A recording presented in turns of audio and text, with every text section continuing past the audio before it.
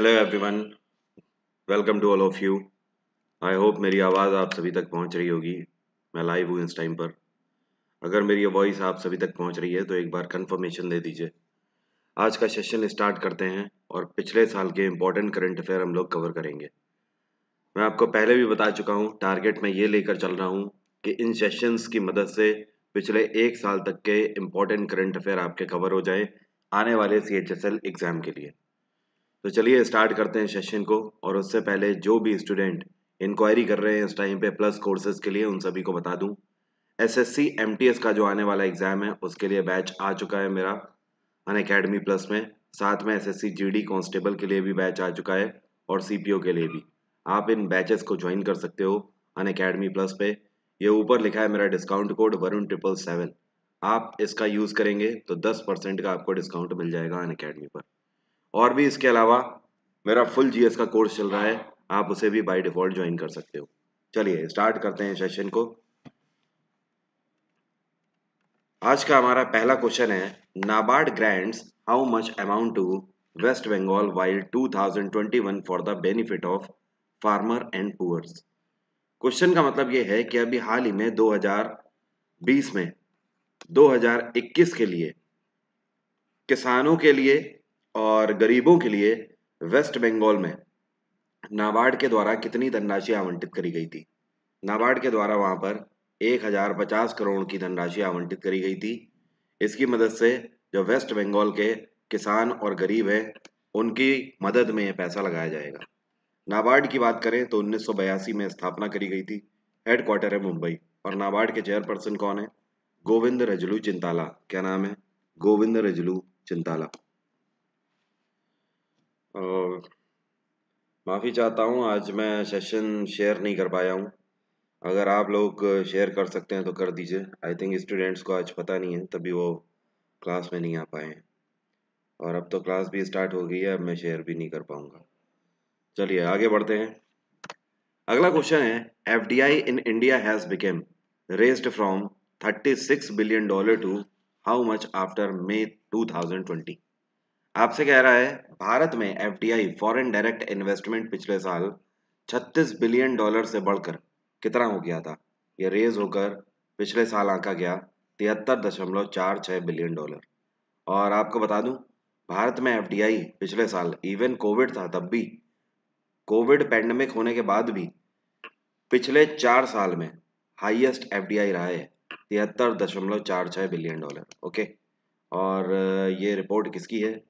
ये report DPIIT की थी, इसकी डीपीआईआईटी अगला क्वेश्चन है India first artificial intelligence portal has launched with which URL आपसे कह रहा है, भारत का पहला एआई बेस्ड पोर्टल लॉन्च किया गया पिछले साल। इस पोर्टल का यूआरएल क्या है? इस पोर्टल का यूआरएल है www.ai.gov.in ओके इसका मेन मकसद यह है कि भारत सरकार के द्वारा आर्टिफिशियल इंटेलिजेंस को लेकर आगे आने वाले टाइम पे क्या क्या एंटरप्रेन्योरशिप्स में मौका दिया जाएगा?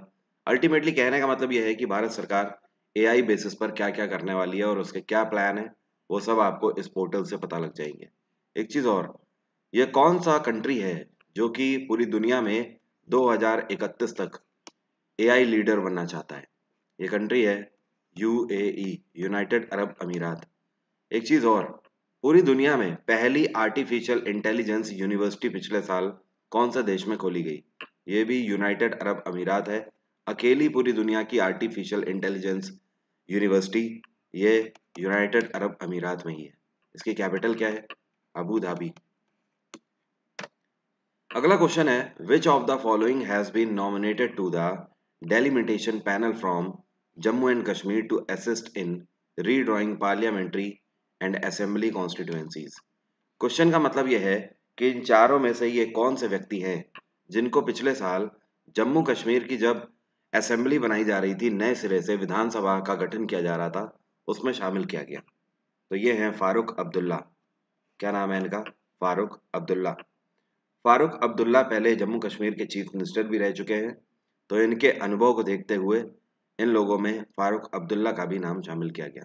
तो टोटल पाँच लोगों की एक कमेटी बनाई गई थी, जिसमें एक थे जितेंद्र कुमार, जुगल किशोर शर्मा, हसनैन मसूदी, मोहम्मद अकबर लोन और पाँचवें फारूक अब्दुल्ला। अगला क्वेश्चन है which state has demanded a COVID 19 negative certificate from people arriving through road air and rail आपसे कह रहा है, ये कौन सी राज्य सरकार है जिसने पिछले साल ये अनाउंस किया था कि कोई भी इस राज्य में, चाहे रोड से आए, चाहे एयर फैसिलिटी से आए, चाहे रेल से आए, आपको नेगेटिव कोविड नेगेटिव सर्टिफिकेट लेकर ही आना है। जब तक आप कोविड नेगेटिव सर्टिफिकेट लेकर नहीं आओगे, तब तक आपको एंट्री नहीं दी जाएगी। ये है गोवा सरकार। गोवा सरकार ने पिछले साल ये प्रावधान लागू किया था। गोवा में प्रमोद सावंत की सरकार है और गवर्नर है यहाँ पे भगत सिंह कोश्यारी। क्या नाम है? भगत सिंह कोश्यारी। वेस्ट बंगाल में ममता बनर्जी की सरकार है, गवर्नर हैं जगदीप धनखड़। उड़ीसा में नवीन पटनायक की सरकार है, गवर्नर है यहाँ पर गणेशी लाल। उत्तराखंड में त्रिवेंद्र सिंह रावत की सरकार है और गवर्नर है बेबी रानी मौर्य। अगला क्वेश्चन है which of the following leader has signed an order to regulate social media platforms आपसे कह रहा है, इनमें से ये कौन से लीडर हैं जिन्होंने पिछले साल एक ऑर्डर साइन किया था। इस बिहाफ पर कि ये सोशल मीडिया प्लेटफॉर्म्स को रेगुलेट करेंगे। मतलब कहने का कि ये कौन से लीडर हैं जिन्होंने पिछले साल कोशिश करी थी कि सोशल मीडिया प्लेटफॉर्म्स को अपने बनाए हुए नियमों से चलाएँगे। ये है डोनाल्ड ट्रंप इसके बाद काफ़ी क्रिटिसाइज भी किया गया था उनको। और बाय द वे कोई भी सोशल मीडिया कंपनी इनके इस फैसले के साथ सहमत नहीं थी। और पिछले साल ये कौन सी कंपनी है जिसने डोनाल्ड ट्रंप का अकाउंट परमानेंटली बैन कर दिया था? तो ध्यान रखिएगा ये है ट्विटर। ट्विटर ने इनका अकाउंट परमानेंटली भी बैन कर दिया। पहले इनके ट्वीट्स डिलीट किए थे दो ट्वीट्स लेकिन उसके बाद भी जब इन्होंने आ, कुछ ऐसा कंटेंट अपलोड किया उस पर जिसको जिस पर ट्विटर ने आपत्ति जताई। और ट्विटर का कहना था कि ये लोगों में एक तरीके से लोगों को भड़काने के लिए सच काइंड ऑफ़ ट्विटर्स थे ट्वीट्स थे तो उसको ट्विटर ने फाइनली इनके अकाउंट को परमानेंटली बैन कर दिया था। और इतना ही नहीं, इनका जो यूट्यूब अकाउंट है, उसको भी यूट्यूब के द्वारा सात दिन के लिए सस्पेंड कर दिया गया था। तो डोनाल्ड ट्रंप के लिए पिछला साल अच्छा नहीं रहा और इनकी सरकार भी चली गई पिछले साल। बाय द वे आपको ध्यान रखना है, पिछले साल बेंजामिन नितानू की इसराइल में सरकार आई है फिर से। ये कौन सी बार प्रधानमंत्री बने हैं इसराइल के।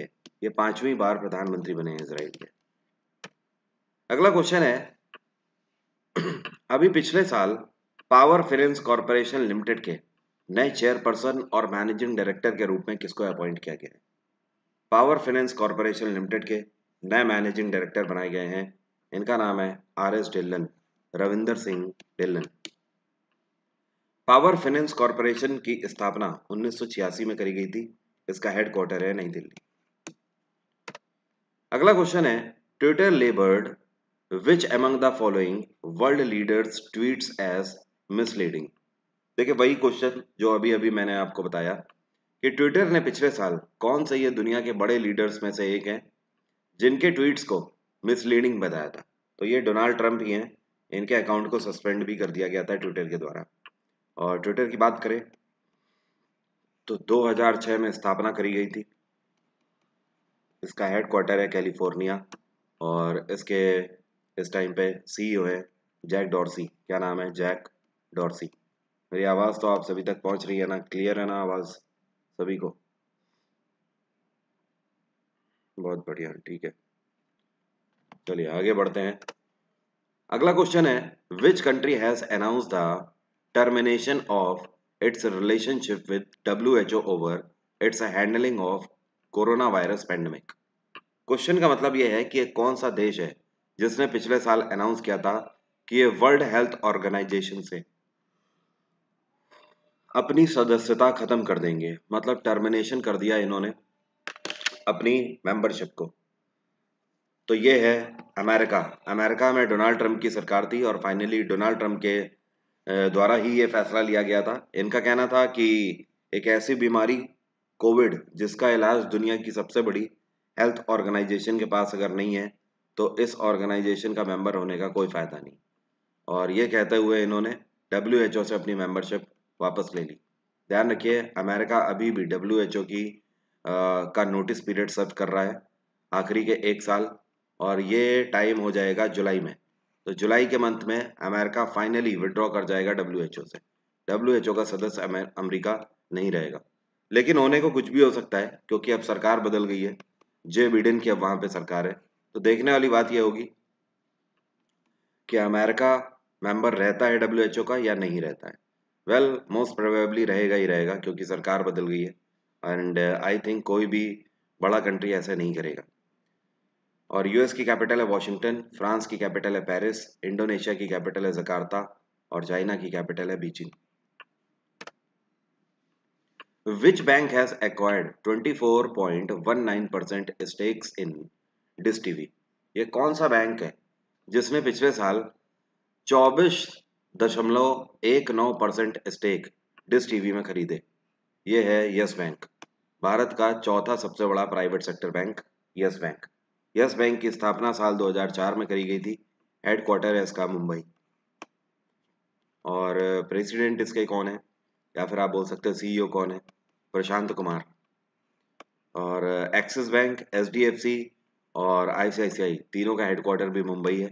एक्सिस की स्थापना उन्नीस सौ तिरानवे में करी गई थी एच की चौरानवे में और आईसीआईसीआई की भी चौरानवे में। और एक्सिस बैंक के सीईओ हैं अमिताभ चौधरी। एच के हैं इस टाइम पे शशिधर, जगदीशन और आईसीआईसीआई के हैं संदीप बख्शी। और डिस टीवी के इस टाइम पे सीईओ कौन है? कोई बता सकता है? चलिए मैं ही बताता हूँ। ये हैं अनिल दुआ। क्या नाम है? अनिल दुआ। और डिस टीवी की भी स्थापना 2003 में करी गई थी। हेडक्वार्टर है इसका नोएडा।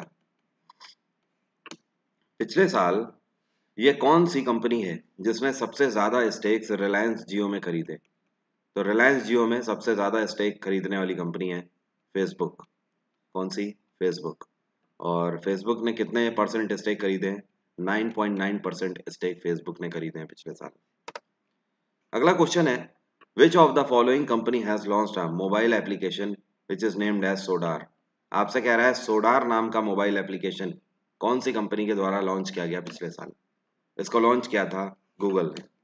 गूगल ने सोशल डिस्टेंसिंग के लिए इस सोडार नाम के एप्लीकेशन को लॉन्च किया था। सोशल डिस्टेंसिंग के लिए आप इस एप्लीकेशन की मदद से अलार्म लगा सकते हो। एग्ज़ाम्पल के तौर पर अगर बात करी जाए, जैसे ये आप हो, आपने अपने मोबाइल एप्लीकेशन में सोडार को भी इंस्टॉल कर रखा है। तो सोडार में आपको ऑप्शन मिलेगा, जैसे दो मीटर की रेडियस या पाँच मीटर की रेडियस या छः मीटर की रेडियस ऐसे।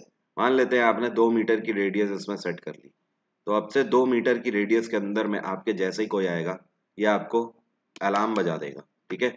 आपको अलार्म बजा के अलर्ट कर देगा, या फिर वाइब्रेशन में आप लेना चाहें तो वाइब्रेट भी कर देगा ओके तो अल्टीमेटली सोशल डिस्टेंसिंग को मेंटेन करने के लिए सोडार मोबाइल एप्लीकेशन लॉन्च किया गया। गूगल की स्थापना उन्नीस सौ अट्ठानबे में करी गई थी हेडक्वार्टर है कैलिफ़ोर्निया और गूगल के सीईओ कौन है? Sundar Pichai. We have observed world digestive health day on which date world digestive health day हम लोगों ने किस दिन मनाया? ये दिन हम लोग 29 मई को मनाते हैं हर साल। और पिछले साल की 2020 की थीम क्या थी? इसकी थीम थी gut microbiome, a global perspective. Long distance runner इनका नाम है किरणजीत कौर। इनको पिछले साल वाडा के द्वारा चार साल के लिए बैन कर दिया गया। वाडा का मतलब समझ रहे हैं? एक है नाडा और एक है वाडा। वाडा मतलब वर्ल्ड एंटी डोपिंग एजेंसी और एक है नाडा मतलब नेशनल एंटी डोपिंग एजेंसी। तो आपसे कह रहा है वाडा के द्वारा भारतीय रनर किरणजीत कौर को चार साल के लिए बैन कर दिया गया क्योंकि ये पॉजिटिव पाई गई डोप टेस्ट में। तो डोप टेस्ट में पॉजिटिव पाए जाने की वजह से इनको चार साल के लिए बैन किया गया। क्वेश्चन ये है कि ये कौन से कंट्री में पॉजिटिव पाई गई थी? ये कतर में पॉजिटिव पाई गई थी। कहाँ पर? कतर की कैपिटल दोहा में। और इनका जो ये बैन पीरियड है, ये कब से स्टार्ट हुआ? ये इनका बैन पीरियड स्टार्ट हुआ था, मैं आपको बता दूँ, पंद्रह दिसंबर 2019 से। अब आप कहोगे 2020 के करंट अफेयर हैं। एक्चुअली 15 दिसंबर 2019 से इनका केस चल रहा था। और फाइनली डिसीज़न आया था करीब अप्रैल, मई के आसपास। तो इनका जो कंसीडर किया गया है बैनिंग पीरियड वो यही किया गया है कंसीडर जब से डोप टेस्ट में पॉजिटिव आई थी, ठीक है? तो 2019 दिसंबर से अब ये कितना हो जाएगा? अब ये कब खेल पाएँगी? 2020 21 22 23 तो अब ये 2024 में लगभग खेल पाएँगी। यूए की कैपिटल है अबू धाबी, सऊदी अरेबिया की कैपिटल है रियाद, ईरान की कैपिटल है तेहरान। और वाडा की अगर बात करें तो वाडा की स्थापना 1999 में करी गई थी। इसका हेड क्वार्टर है मॉन्ट्रियाल क्या है? मॉन्ट्रियल अगला क्वेश्चन है on which date we have celebrated world milk day विश्व दुग्ध दिवस हम लोग किस दिन मनाते हैं? उनतीस, तीस, इकतीस या फिर एक जून? इसको हम लोग हर साल एक जून के दिन मनाते हैं। जून की पहली तारीख को वर्ल्ड मिल्क डे के रूप में मनाया जाता है। अगला क्वेश्चन है, ये कौन से क्रिकेटर है जिनको बीसीसीआई के द्वारा राजीव गांधी खेल रत्न अवार्ड के लिए नॉमिनेट किया गया था? ये है रोहित शर्मा। रोहित शर्मा। और बीसीसीआई की अगर बात करें 1928 में स्थापना करी गई थी हेडक्वार्टर है बीसीसीआई का मुंबई। और इसके सेक्रेटरी कौन है? जय शाह और बीसीसीआई के प्रेसिडेंट कौन है? सौरभ गांगुली। अगला क्वेश्चन है recently in which place the tensions between India and China are growing over disagreements over line of actual control आपसे कह रहा है यह कौन सी जगह है जहाँ पर पिछले साल भारत और चाइना के बीच में टेंशंस बढ़ रही थी disagreements of line of actual control को लेकर? यह जगह है eastern Ladakh eastern Ladakh range और ये कौन सी जगह है जहाँ पर पिछले साल अभी भारत और चाइना के जवानों के बीच में कई सारी अभी झड़प भी हुई थी और आखिरी में जहाँ पर वो पूरा मुद्दा है जिसकी वजह से पूरी टेंशन्स हो गई थी, जिसकी वजह से फिर एलएसी में उनकी जो आर्मी है, उसको इंटरनेशनल प्रेशर की भी वजह से पीछे जाना पड़ा। तो वो है गलवान वैली उस जगह को क्या बोलते हैं? गलवान वैली जहाँ पर ये सब हुआ था। अगला क्वेश्चन है who launched My Life My Yoga a video blogging competition आपसे कह रहा है, पिछले साल माई लाइफ माई योगा नाम का एक वीडियो ब्लॉगिंग कंपटीशन किसके द्वारा लॉन्च किया गया? इसको प्रधानमंत्री नरेंद्र मोदी के द्वारा लॉन्च किया गया। अब ये जो कंपटीशन लॉन्च किया गया था, इसके तहत सरकार का कहना था कि आप योगा करते हुए अपने वीडियोस पोस्ट करिए और अगर सरकार को आपके वीडियोस पसंद आते हैं तो आपको सम्मानित भी किया जाएगा। तो ये एक तरीके का वीडियो ब्लॉगिंग कंपटीशन था। योगा को प्रमोट करने के लिए, ठीक है? अगला क्वेश्चन है astronaut has discovered a rare space object which looks like both asteroid and comet what does that object called आपसे कह रहा है, पिछले साल नासा के एस्ट्रोनॉट्स के द्वारा यूनिवर्स में एक ऐसा ऑब्जेक्ट पाया गया जो कि एस्ट्रॉइड की तरह भी दिखता है और कॉमेट की तरह भी दिखता है।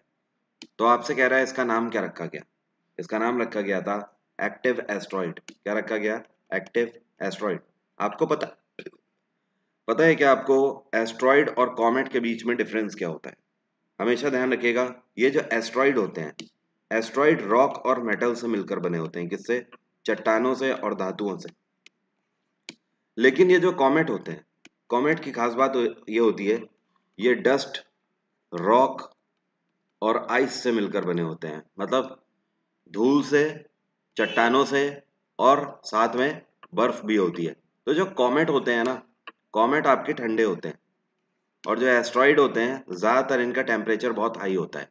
तो ये एक बेसिक सा अंतर है एस्ट्रॉइड और कॉमेट के बीच में। तो आपसे कह रहा है, अभी हाल ही में एक ऐसा ऑब्जेक्ट पाया गया जो कि एस्ट्रॉइड और कॉमेट दोनों की तरह दिख रहा था।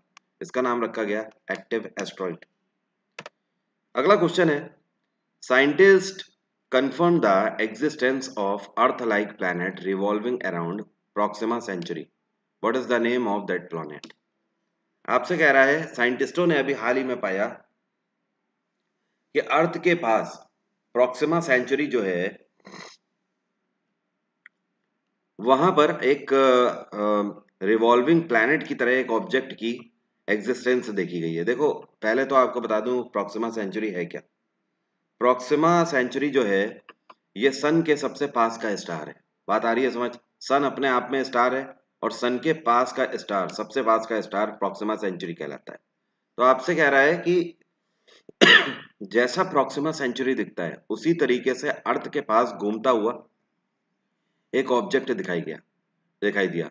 What is the name of that planet उसका नाम क्या रखा गया? उसका नाम रखा गया प्रोक्सिमा बी क्या नाम रखा गया? Proxima B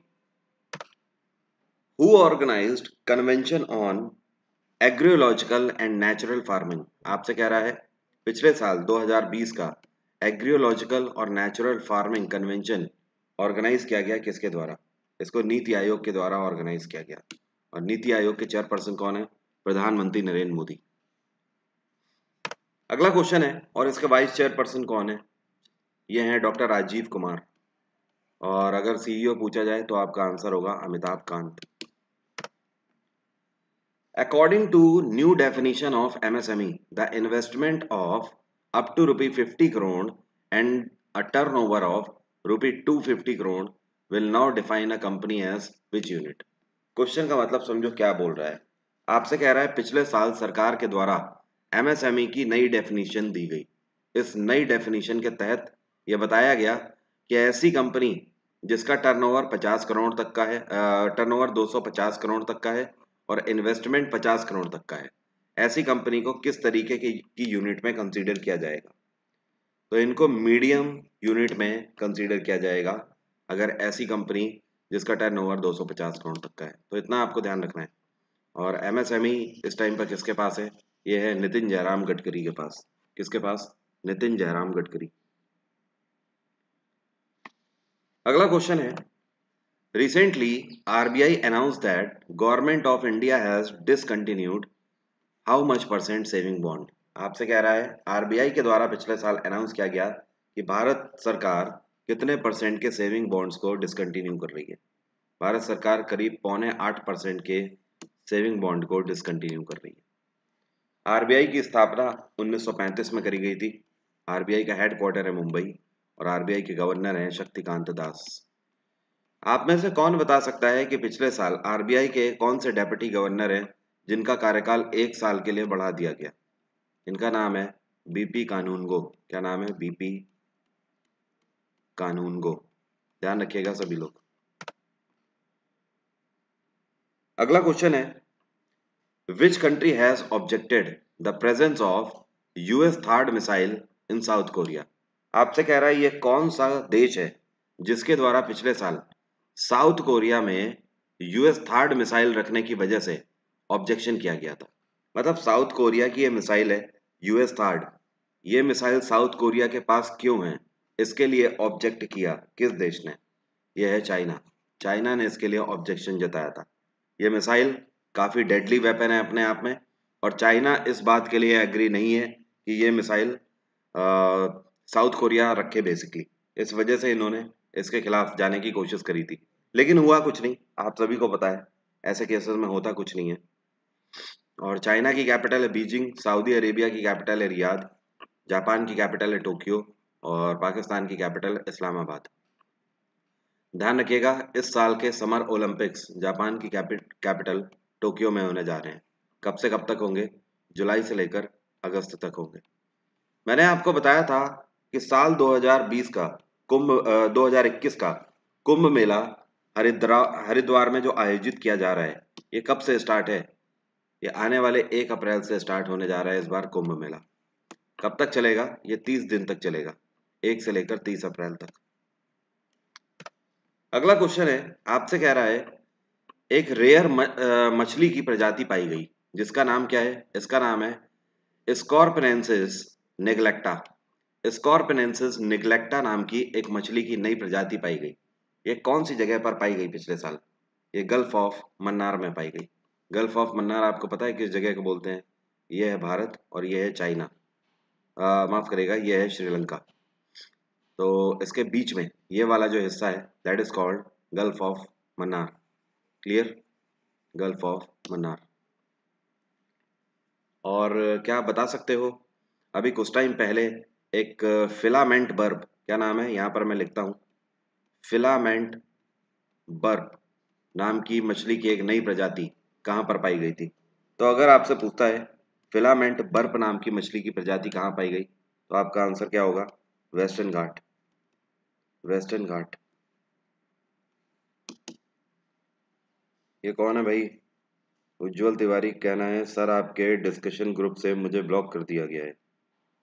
नहीं नहीं एक्चुअली डिस्कशन ग्रुप से आपको ब्लॉक कर दिया गया है। डिस्कशन ग्रुप टेलीग्राम की बात कर रहे हो? चलिए मैं देख लूँगा। देख लूँगा, तिवारी जी, देख लूँगा। परेशान मत होइए।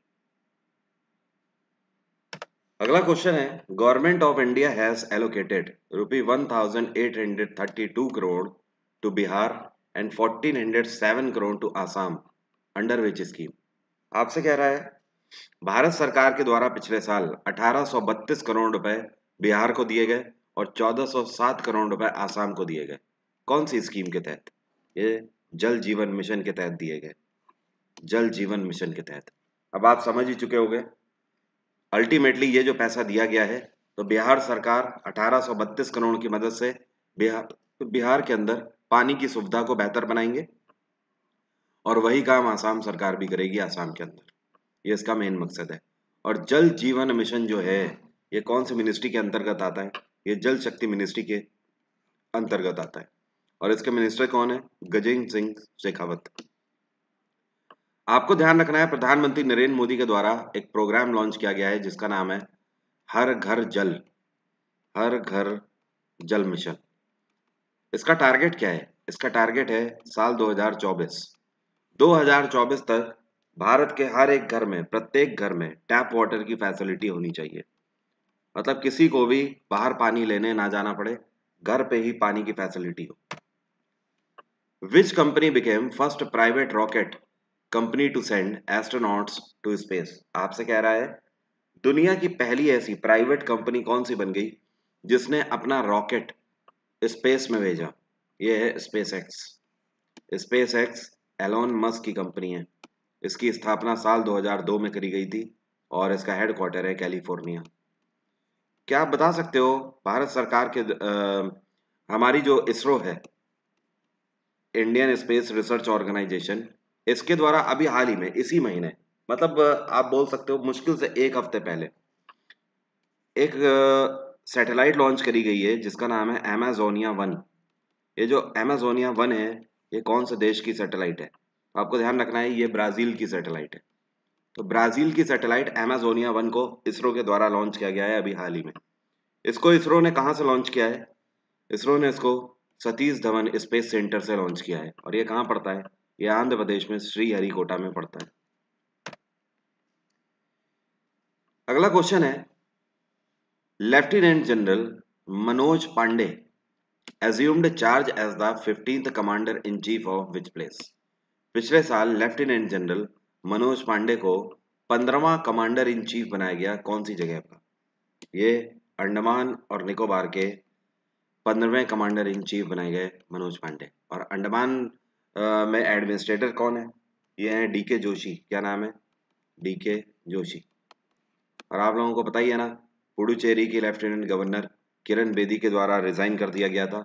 और उसके बाद यहाँ पे जो पोल था वो वी नारायण स्वामी, जो कि यहाँ के चीफ मिनिस्टर थे कांग्रेस की तरफ़ से, वो अपना पोल भी हार गए थे। लॉस कर दिया था उन्होंने। तो अब यहाँ पे राष्ट्रपति शासन लग चुका है पुडुचेरी में। तो आपसे क्वेश्चन पूछेगा कि अभी हाल ही में ये कौन सी यूटी है जहाँ पर राष्ट्रपति शासन लगा है? तो ये पुडुचेरी है जहाँ पर राष्ट्रपति शासन लगा हुआ है और बहुत जल्द यहाँ पे इलेक्शन होने वाले गोवा में प्रमोद सावंत की सरकार है। और मुझे कमेंट बॉक्स में क्या आप लिखकर बता सकते हो? दमन द्वीप में एडमिनिस्ट्रेटर कौन है? जरा बताइए। अगला क्वेश्चन है who assumed charge as secretary of ministry of steel आपसे कह रहा है, पिछले साल मिनिस्ट्री ऑफ़ स्टील जो है हमारी, उसके नए सचिव के रूप में किसको अपॉइंट किया गया? इसके नए सचिव के रूप में त्रिपाठी जी को अपॉइंट किया गया। प्रदीप कुमार त्रिपाठी। सीनियर आईएएस अधिकारी हैं he has become the secretary of ministry of steel और मिनिस्ट्री ऑफ़ स्टील किसके पास है? ध्यान रखिएगा, ये है धर्मेंद्र प्रधान के पास। और अभी मैंने आपसे जो पूछा था, कई सारे लोगों ने सही आंसर किया है। जो लोग भी आंसर कर रहे हैं, प्रफुल्ल पटेल, उन सभी का आंसर सही है। मैंने आपसे पूछा था ना, दमनदीप के एडमिनिस्ट्रेटर कौन है? प्रफुल्ल पटेल। अगला क्वेश्चन है we have observe the establishment day of Telangana on which date आपसे कह रहा है, तेलंगाना का स्थापना दिवस हम लोग कौन से दिन मनाते हैं? तेलंगाना का स्थापना दिवस हर साल 2 जून को मनाया जाता है। इसकी स्थापना 2 जून 2014 को करी गई थी। और तेलंगाना भारत का कौन सा राज्य बना था? ये भारत का उनतीसवां स्टेट बना था, ट्वेंटी स्टेट। तेलंगाना में गवर्नर कौन है? ये है तमिलसाई सुंदराजन और यहाँ पे सरकार चल रही है चंद्रशेखर राव की। चंद्रशेखर राव। ध्यान रखना, तेलंगाना सरकार ने पिछले साल कोविड पेंडेमिक में वी सेफ़ टनल लॉन्च करी थी। क्या करी थी? वी सेफ़ टनल इस टनल के अंदर से अगर आप होके गुजरोगे तो आपको ये सैनिटाइज कर देगी पूरा। इसके अंदर आपको 20 सेकंड खड़ा होना होगा और उसके बाद निकल जाइए। गवर्नमेंट ऑफ़िस के बाहर इसको लगाया गया था। इनका नाम है आश, R Sreelekha she has become the first women DGP in which state आपसे कह रहा है, आर श्री लेखा कौन से राज्य में पहली महिला डायरेक्टर जनरल ऑफ़ पुलिस बनाई गई?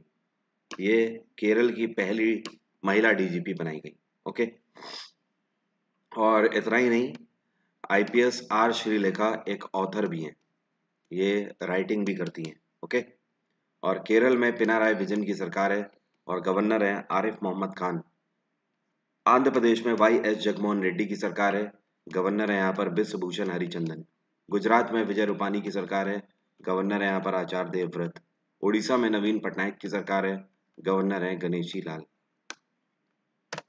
अगला क्वेश्चन है government has announced to provide Kisan credit card to how many dairy farmers belongings to milk union and milk producing companies question का मतलब यह है कि भारत सरकार के द्वारा अनाउंस किया गया कि किसान क्रेडिट कार्ड दिए जाएँगे पूरे भारत भर में कितने डेयरी फार्मर्स को, जो कि मिल्क यूनियन और मिल्क प्रोड्यूसिंग कंपनी से बिलोंग करते हैं। पूरे भारत में डेढ़ करोड़ किसानों को भारत सरकार किसान क्रेडिट कार्ड देगी, ओके? ये ऐसे किसान होंगे जो कि दूध का उत्पादन करते हैं और मिल्क प्रोड्यूसिंग कंपनीज़ को देते हैं।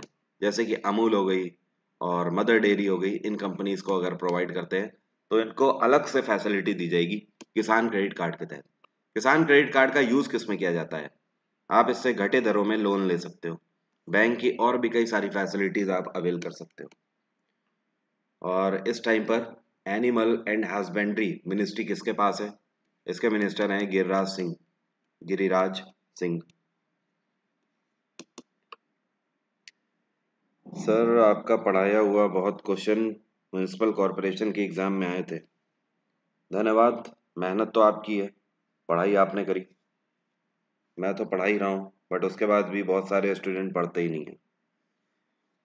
तो इसके लिए मैं धन्यवाद आपको कहूँगा, ये आपकी मेहनत है।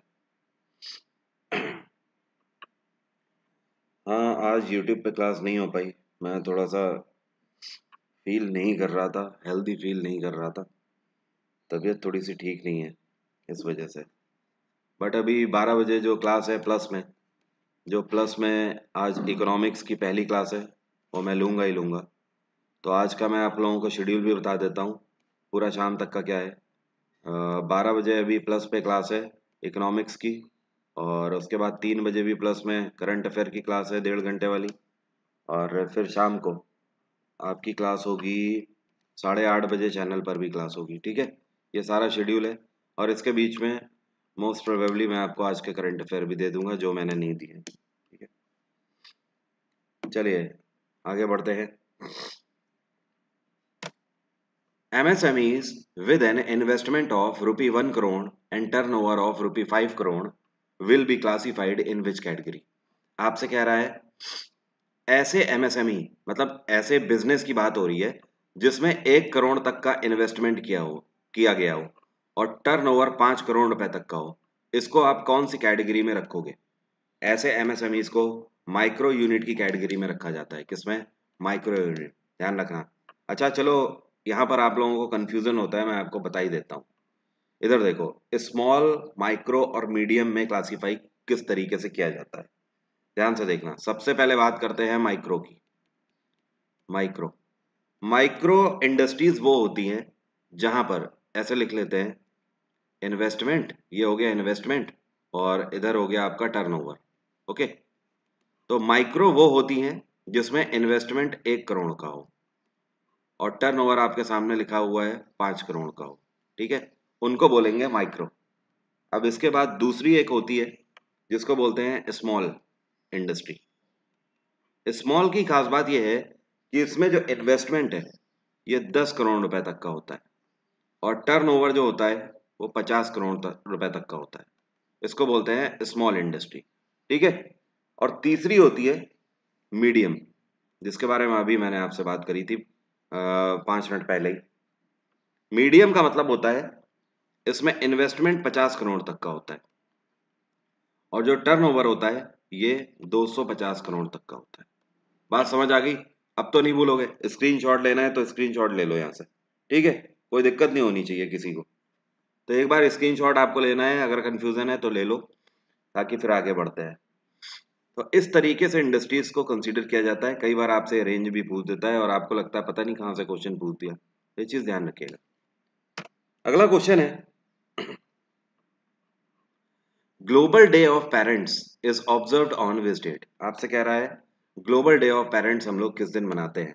हर साल ये दिवस एक जून को मनाया जाता है, जून की पहली तारीख को।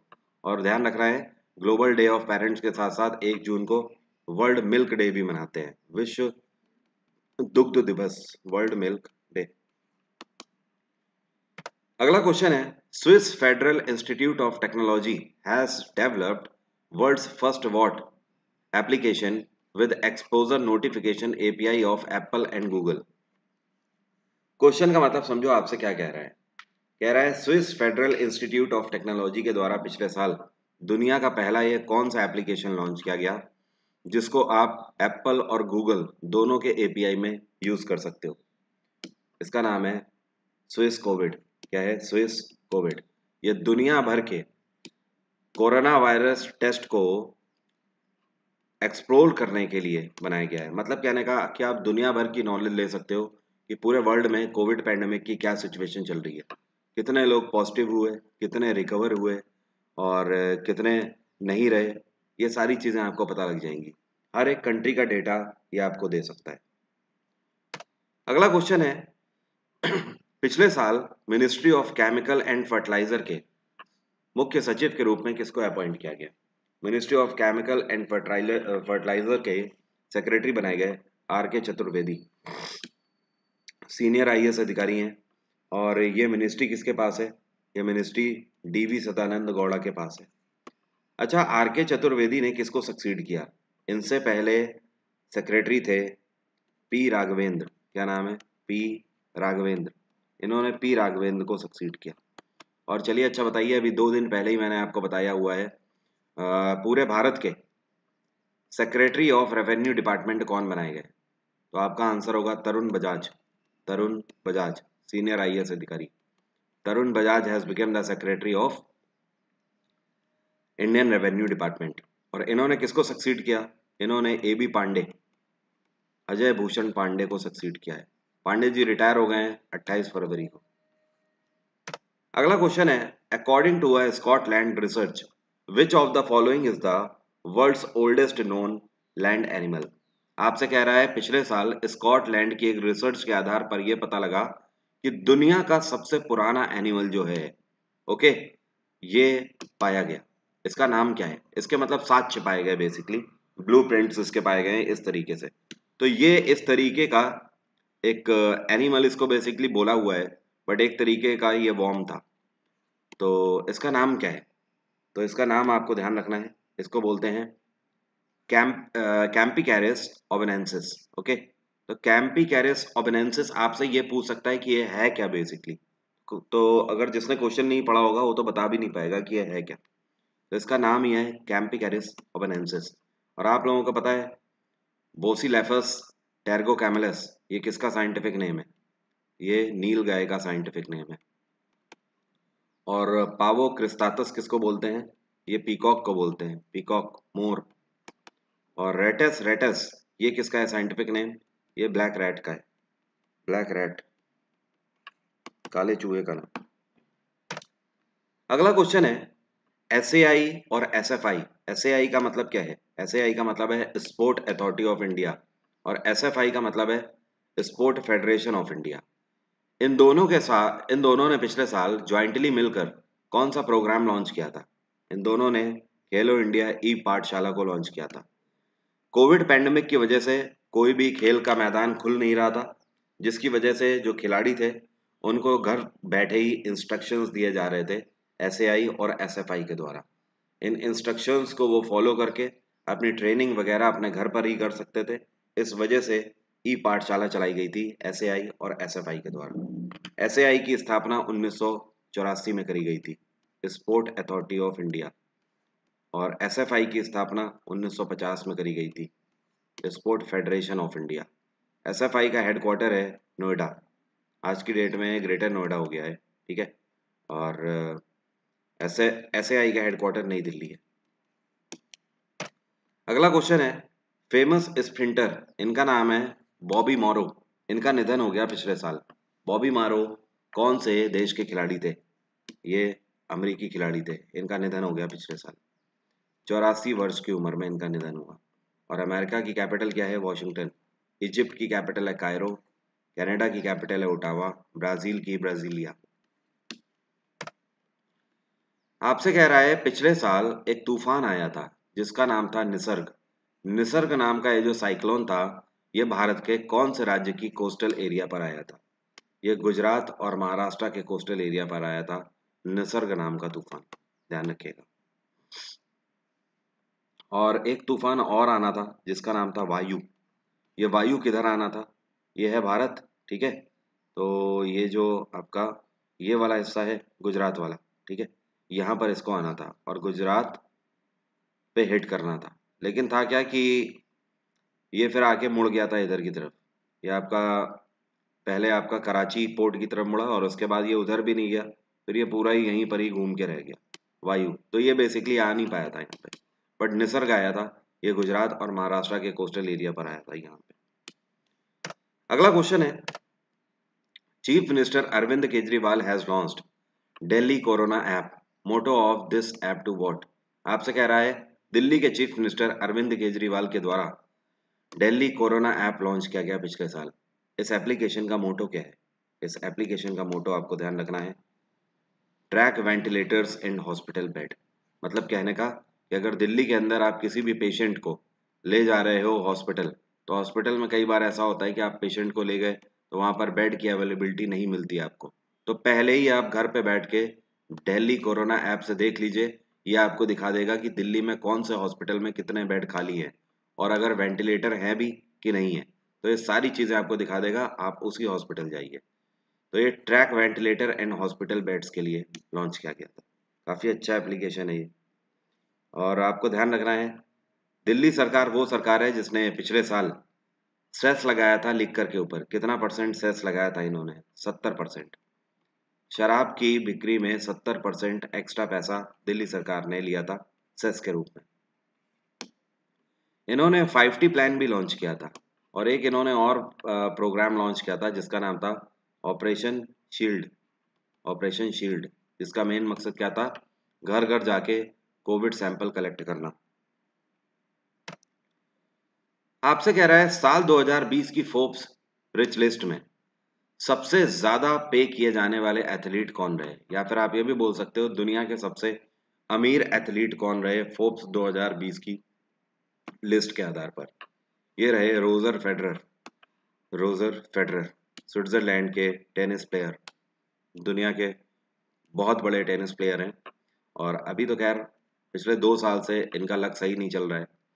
आ, अभी अगर टेनिस प्रोफेशनल्स में बात करें तो नोवाक जोकोविच और रोजर फेडरर ही हैं नंबर वन पे।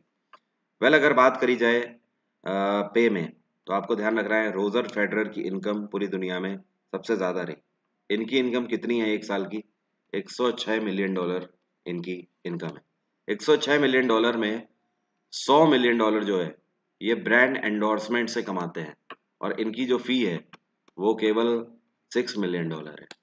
बात आ रही है समझ? तो आप समझ सकते हो फ़ेमस चेहरा है पूरे वर्ल्ड में ब्रांड एंडोर एंडोर्समेंट के मामले में।